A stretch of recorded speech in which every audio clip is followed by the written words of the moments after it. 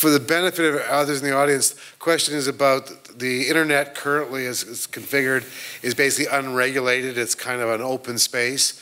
And the question is, is in the future, do they see that this will become regulated? And is that necessarily a good thing or, or and how we might go about it if that kind of captures the question? Yeah, I mean, I think it's going to have to be. We'll put it that way. Um, and it's not going to be regulation as we've seen before. How we typically talk about regulation, right? We usually typ typically we talk about regulation as the government comes in, does these things. But, you know, the corporations that are shaping, you know, digital spaces, because it's not even like the internet, it's everywhere, um, are powerful, powerful entities. So it does require other kinds of powerful entities to come in and check that. And it doesn't necessarily need to be top down. And in fact, a lot of scholars have argued it can't be, right? It's a different kind of issue. It's a public space issue, right? Like, how do we bring it back into the commons when it's been pushed in this privatized space? Um, and so a lot of scholars have thought about this and they've called it responsive regulation. They've talked about it in relation to major financial issues like big, big social problems. And their argument is we need to think about other kinds of actors and incentives that can rein these spaces in, for lack of a better word, so that we can actually balance the distribution of benefits. So I think it's going to have to happen. Um, and I think those corporations are going to have to be part of that process. And it's not just going to be the government of Canada coming in or another kind of government coming in. It's going to have to be a multi-stakeholder process it, because it's going to happen regardless. I think I kind of think my goal or other scholars' goal is to bring more stakeholders at that table because we've seen already what can happen when powerful actors are the ones shaping it, and it's not very democratic. Question over here. Uh, hi. Uh, my question is in regards to how we're being kind of conditioned to think certain ways. And I'm thinking the long term. So things go really bad. And we are seeing, like, I'm thinking films like Mad Max and post apocalyptic kind of novels and things like that. Um, there's not very many examples of how we can bounce back if things take a turn for the worse. And do you think that that's part of the, the rhetoric or the narrative that governments are trying to kind of scare us into saying, you want the status quo, even though that means you're at the hands of the corporations and so on.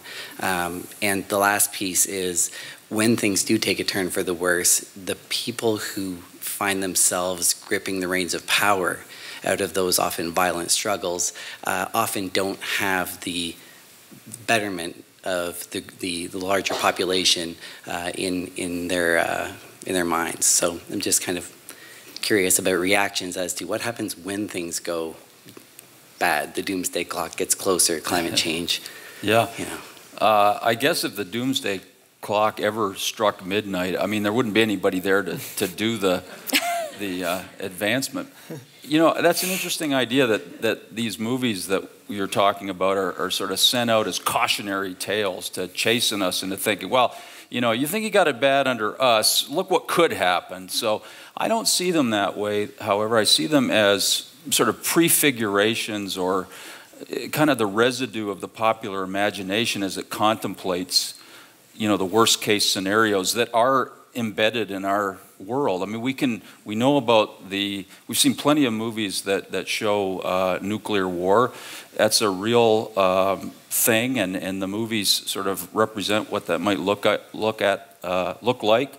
I think many of these Armageddon or apocalyptic movies, whether they're zombies or Mad Max or so on, are picking up on the general anxiety we have as a civilization about the limits of, of what we can do.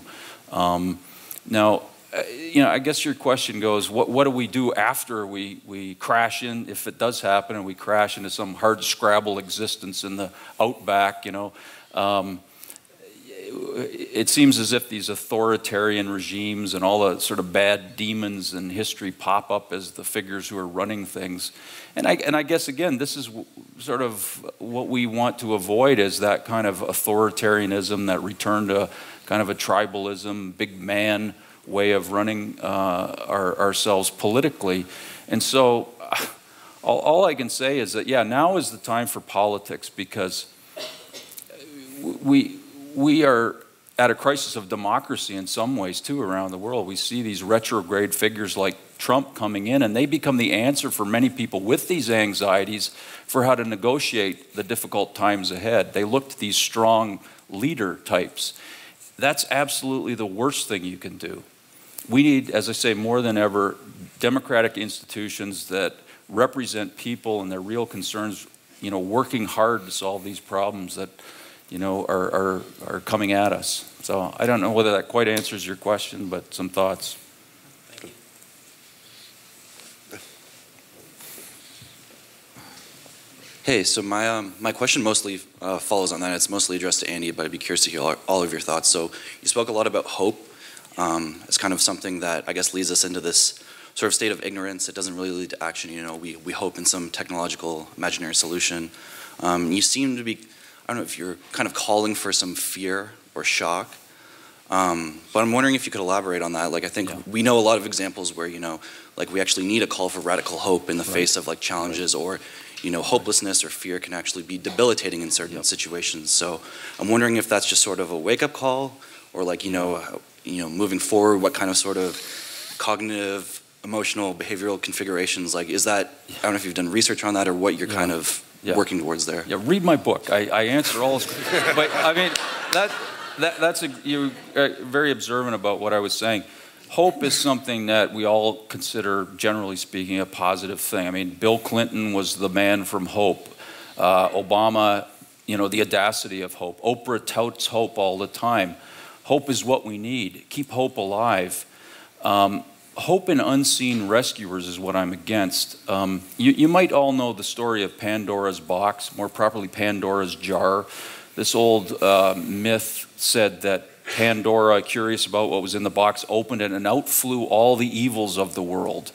She, she was able to tamp the box down just in time, and the one thing remaining was hope.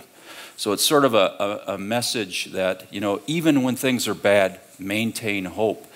But another translation of what that was that was retained in the box is actually um, deceptive expectations.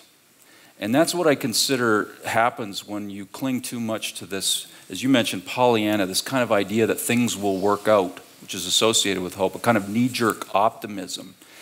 And I think we've all, as I suggested, have been tutored in that kind of thinking for years and years. And it's very helpful in a lot of ways from an individual perspective to have hope. But as kind of a societal regime, it, it lulls us into expecting this kind of deus ex machina, some savior from above. And so if you give up hope, some people say, you know, terminal patients, sometimes if they, they have no hope, they actually start living again. They actually start saying, what have I got to lose? I'm going to apply myself in the remaining time to all of the things that I wanted to do, to make good on my promises to myself.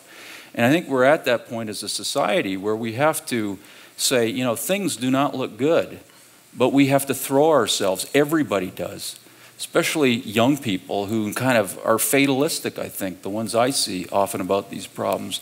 They've got to know that the older generations are, you know, putting their money where their mouths are and trying to do whatever they can to make the world safe for them. And that's the problem. I think we're headed into an unsafe regime, if you want to sort of describe it that way. We don't know exactly what's going to happen, but we know it's not going to be as safe as it is now. Others want to join? Alexander? I see a lot of knee jerk pessimism in the last few years, and sometimes I find that exhausting. And, and so I caution against going the other extreme. So hope is good, but it needs to be moderate, just like pessimism has to be moderate. And there are all sorts of reasons why it's been up tempo as of late, and I think you can figure out those reasons. But it, it is exhausting, and it's sometimes unfortunate when I see other scholars engage in it. I'm not saying anyone here. I'm just speaking strictly from my own, ahead. My own me. epistemic community in international relations, where you know, there, you know, when Trump said "Let it be an arms race," I saw all these nuclear security experts. Oh, how dare he say that? But it's like, well, you should know that this actually has been uh, American strategic policy since the 1940s, essentially since Pearl Harbor. Um, so it, I think it's important to also have a historical sense as to what's going on. I think sometimes we we think a lot of things are new when they're really not. Uh, and so it's important to see, well, okay, there is political polarization, but we've been here before. Certainly in the United States, they had a civil war. That's how polarized it was in the 1850s, 1860s. Um, so I just think that we have to take a bit of a broader perspective hopefully ground our perspective in some sort of theory or some careful analysis so that we don't get too carried away in our pessimism so that our hope remains grounded as well. But keep in mind that what you've said is sort of part of that thought pattern I'm talking about. That, that idea that we've been here before. People have always said the world is ending. The sky is always falling. We've been through this before and we came through we're at a different kind of moment, though, I think, now, where the kinds of pressures, the contradictions of being a, a huge dominant species on, an, on a finite planet are starting to bite. And it's not like this is just sort of a moment like any other. It's different. It's it's different scale. So that's that's. I would just say yeah. very quickly, you have to identify what exactly is different.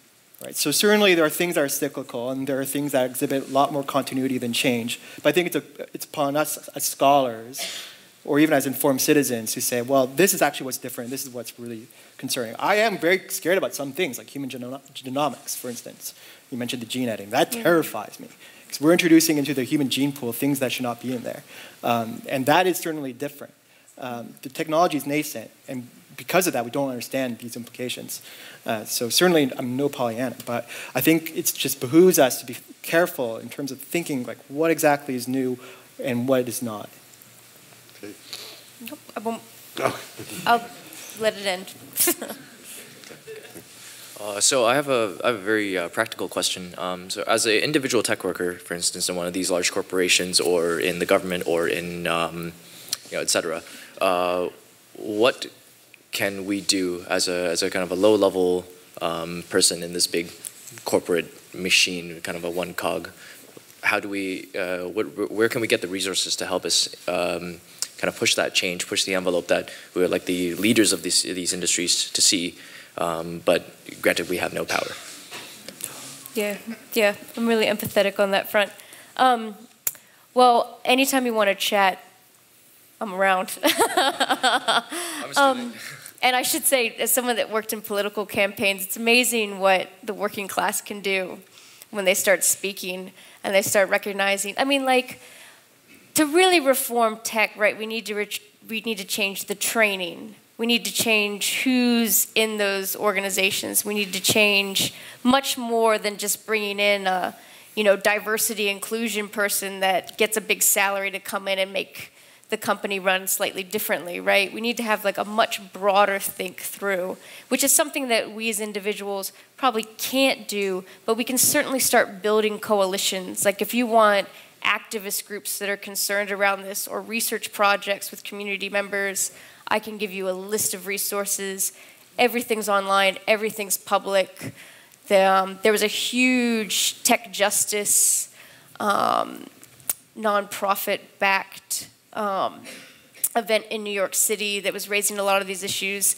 The Canadian organization that I highlighted here, they're all trained computer scientists. They'd be happy to have chats. They've designed tech to, for privacy. They're very open. It's all publicly accessible. They'd be happy to chat. So I guess one, have hope. Two, we're empathetic to what that, we all occupy spaces that are really difficult. Um, but the fact is that you wanted to ask the questions so that there are others that want to have that conversation too. And we can't push it up from the ground up. So thanks for the question.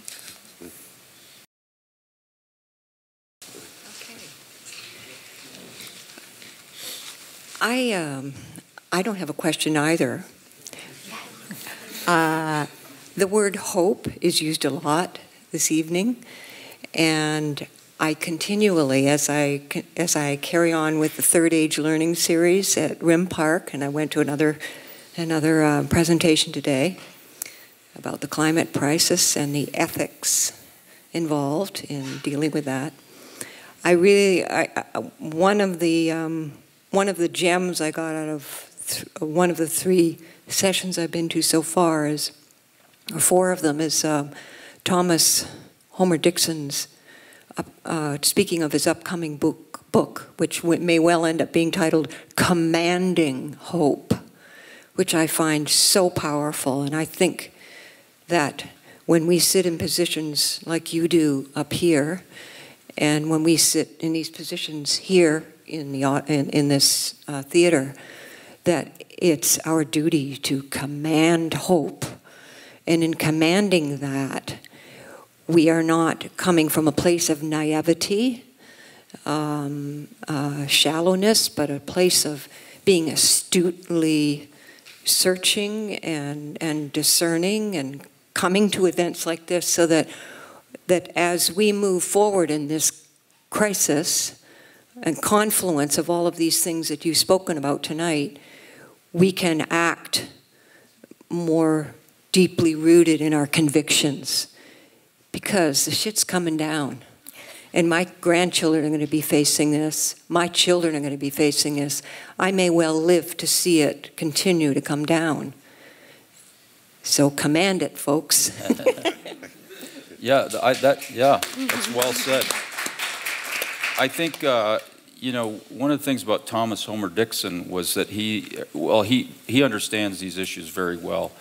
And uh, he has, you know, smuggled a little bit of hope in some of his books by imagining that out of these crises, out of these breakdowns, actually something new and conceivably better will come. And that is uh, a touchstone of a lot of writers who write about sort of post climate change and post peak oil, things of that nature, that out of the ashes of this present sort of unsustainable society could, some, could come something better. Now, for me, obviously, that is you know, the hope metaphor working its way in, the optimism reflex. But I, I do acknowledge, and I, am very interested in to hear more about commanding hope, so I'll look for that. Thanks, Chris. Hi. Uh, thank you so much for the wonderful talk to all three of you.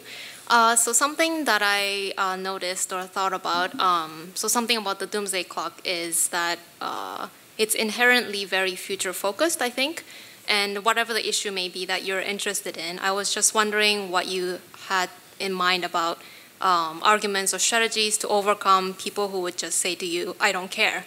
Um, so I think obviously people in this audience, like we're here because we care about these issues, so it's easy to convince us or motivate us, but for the most part, for any of these changes to happen, you need to motivate people, and for the most part, a lot of people don't want to deal with these things.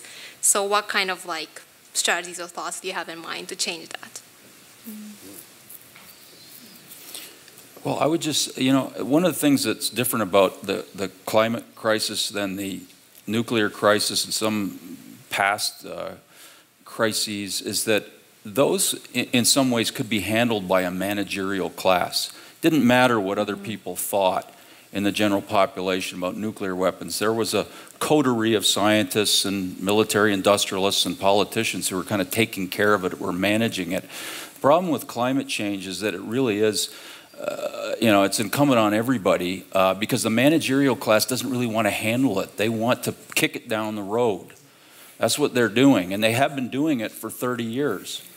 So, um, yeah, I, I, I don't know exactly uh, any better than I said it in the, in, the, in the talk is that it is a problem of persuasion. And the people who aren't here are the ones who need to be persuaded most of all, right? I've always thought that maybe it would take some amazing event, some cataclysmic thing. The Greenland ice shelf slides off into the ocean, it sloshes Europe out of existence. Maybe it would take that kind of thing before people would do that. But, but how perverse is that thinking that you're waiting for the worst to happen before you can do something about it? So if you've got any ideas about how to persuade those people who aren't here, let me know. Okay. No. No, just from just because I mentioned regulation earlier. I mean, regulatory scholars have argued it takes that kind of catastrophe like, why are airplanes so safe? It's because we had horrific things happen. It's safer to fly than it is in a car. Unfortunately, it does horrific environmental damage if we all do that, right? So I think you're right. The climate problem is something that's fundamentally different than the other kinds of problems that we've talked about. And it has to be future oriented, whereas the talk around technology, I try to deliberately, deliberately ground it in something contemporary But again, it's also contributing to the bigger thing, and I actually think what you spoke about is the bigger thing we should all be talking about. Technology is part of that, but it's because it's contributing to that, in part because it's contributing to those problems. Yes, Chris. Hi, uh, I had a question uh, involving demilitarization. Um, and like, there's so many places around the world with these massive armies and nuclear warheads, but what's the point of having them if you never actually use them? And do you think we could actually convince, say, these massive world powers to all get rid of their nuclear power at the same time? And do you think that would ever possibly work out? Well, the point of having a nuclear arsenal is not to use it. That, that's the paradox of nuclear arsenals. They're, uh, at least fundamentally, they work best when you don't use them. They work every day. We use nuclear weapons every day. And we, being the United States and Great Britain, uh, as, as the nuclear armed uh, states in the Western Alliance, uh, they're used for deterrence. And no country with nuclear weapons has been invaded and, um, at a large scale. Sure, there might be some provocations at lower ends of uh, violence, like between Pakistan and India, but the reason why countries have nuclear weapons, in part, is uh, not to use them. Another part, another reason is simply that if they give up their nuclear weapons, there's no assurance that they might have that another country would give up nuclear weapons. So they're caught in this dilemma of sorts. No one wants to have nuclear weapons, but because the other side has it, then you have to have it because it sort of cancels out the effect of them having it. But no one wants to uh, to uh, give up uh, voluntarily those nuclear weapons precisely because they feel that doing so would make them vulnerable to blackmail and other sorts of depredations. So, uh, on top of that, we have um, like chemical warfare has been banned uh, around the world, and when it has been used, there's been like bad sanctions about countries who have done it, and it's a very negative thing.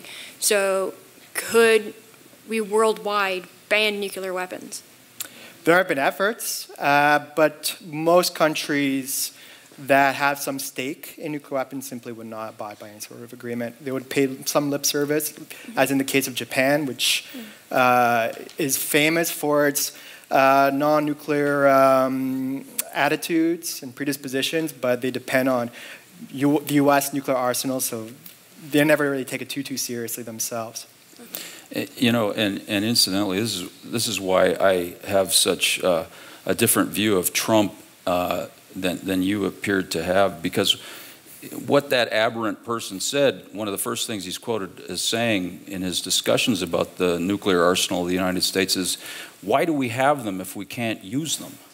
So the, the understanding of it as a deterrent is something that it's like so many other things probably escapes him.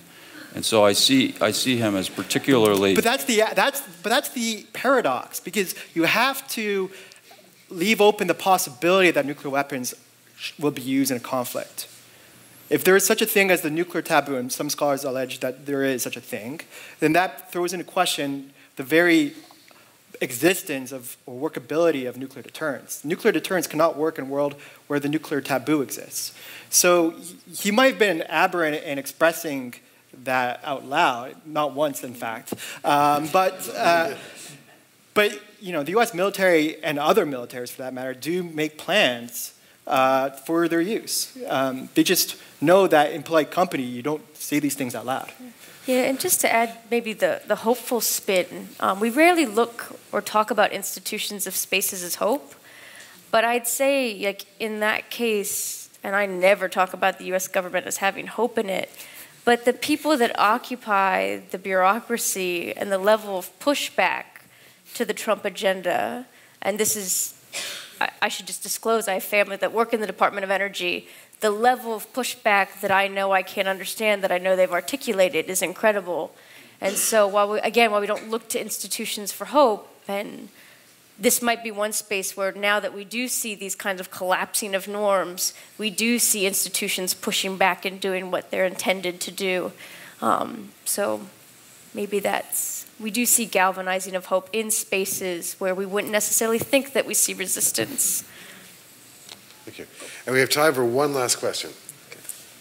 Um, So what do you think about the um, idea that mutually assured destruction can allow for superpowers to basically say, I'm going to do whatever I want close to my border because you're probably not going to care enough about that to launch a nuclear attack on me, because then I'll do it on you.